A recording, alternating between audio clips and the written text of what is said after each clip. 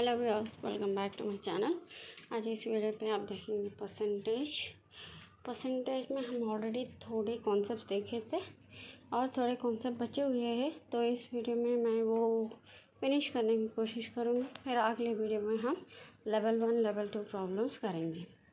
तो यहाँ पे कॉन्सेप्ट है finding the whole given E part and the percentage अगर होल फाइंड करना है पार्ट और परसेंटेज देता है तो।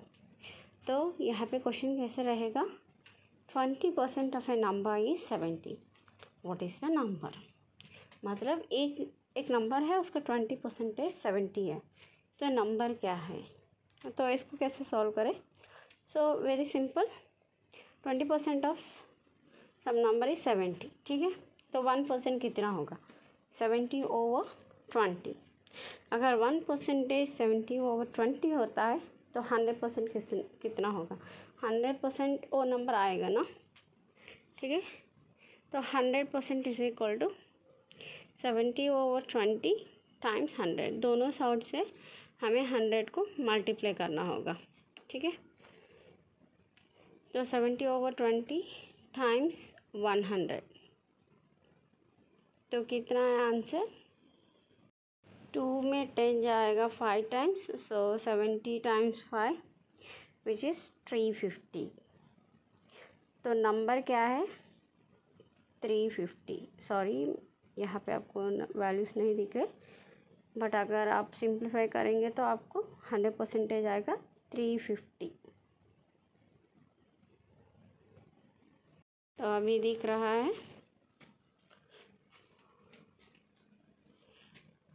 हाँ थ्री फिफ्टी। गॉट इट तो नंबर है थ्री फिफ्टी। थ्री फिफ्टी में ट्वेंटी परसेंटेज हो रहा है सेवेंटी अगर आप चेक करना चाहते हो तो क्रॉस वेरीफाई कर सकते हो।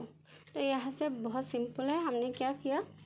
तो जो दिया उसको हम वैल्यू की इक्वल किया मतलब परसेंटेज का ट्वेंटी परसेंटेज ऑफ़ सेवेंटी हमने लिखा था, फिर हम उससे वन परसेंटेज फाइंड किया और उसके बाद हंड्रेड परसेंटेज फाइंड किया। नेक्स्ट हम देखते हैं अगली कॉन्सेप्ट सो अगली कॉन्सेप्ट है परसेंटेज इंक्रीज परसेंटेज डिक्रीज तो अगर चीज़ वेरी होता है, उसके वैल्यूज़ चेंज होते हैं तो परसेंटेज कैसे फाइंड आउट करें?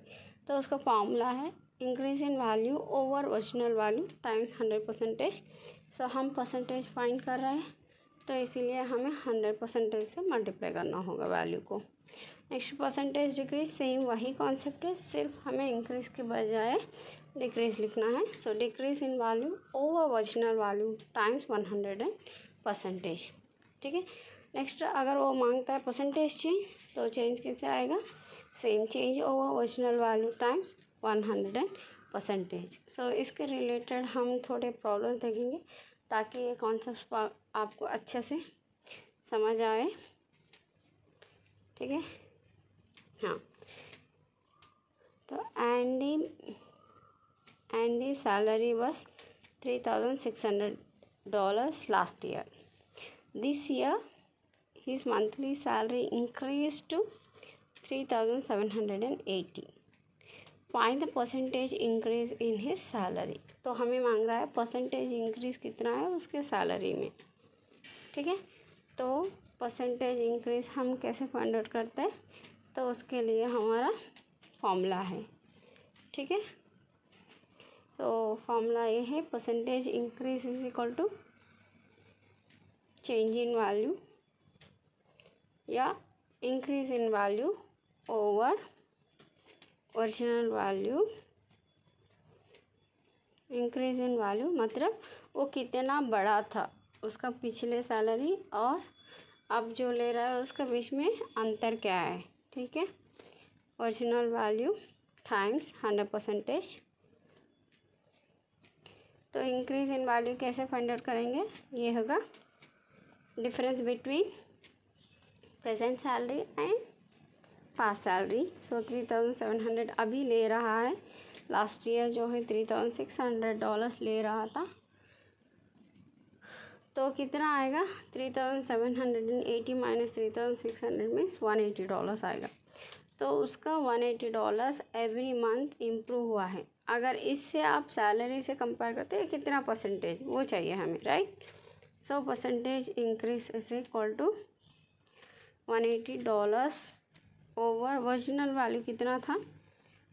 Three thousand six hundred dollars था पहला। जो इंक्रीमेंट नहीं हुआ तब का। Three thousand six hundred dollars times hundred percentage अगर आप इसको सिंप्लीफाई करते हो तो आपको आएगा। ये थे ज़ीरोस और हंड्रेड परसेंट के दो ज़ीरोस कैंसिल हो जाएँगे। तो बचा है one eighty over thirty six eighteen table one eight में वन एटी जाएगा टेन टाइम्स थर्टी सिक्स जाएगा टू टाइम्स फिर से टू टेबल टेन में जाएगा फाइव टाइम्स तो कितना परसेंटेज इंक्रीज़ हुआ है? फाइव परसेंटेज इंक्रीज़ हुआ है.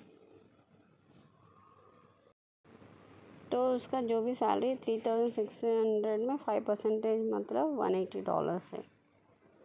ठीक है?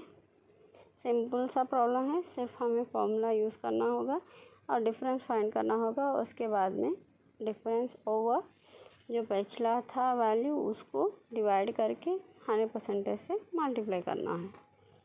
ठीक है, डायरेक्ट प्रॉब्लम कोई ट्विस्ट नहीं है। ठीक है, अब हम देखते हैं परसेंटेज डिक्रीज़ का। एक problem, mister Kamal bought a car in 2015 for $86,000. He sold the car this year for $70,400. So car खरीदा था 88,000 एंड बेचा था 70,400. Why is the find the percentage decrease in the price price of the car? तो अब हमें क्या find करना होगा Percentage decrease कितना हुआ है? ठीक है? वही सेम कॉन्सेप्ट है बट वहाँ पे हमें परसेंटेज इंक्रीज फाइंड करना है और यहाँ पे परसेंटेज डिक्रीज ठीक है? तो फॉर्मूला क्या है? Percentage decrease is equal to decrease in value मतलब यहाँ पे हमें प्रीवियस प्राइस और अब प्राइस मतलब जो ख़रीदा था तब का प्राइस जो बेचा था तब का प्राइस को वेरिएशन पता करना होगा। वही होगा decrease in value over original value times one hundred and percentage तो डिक्रीज इन वैल्यू हुआ है eighty eight thousand minus seventy thousand four hundred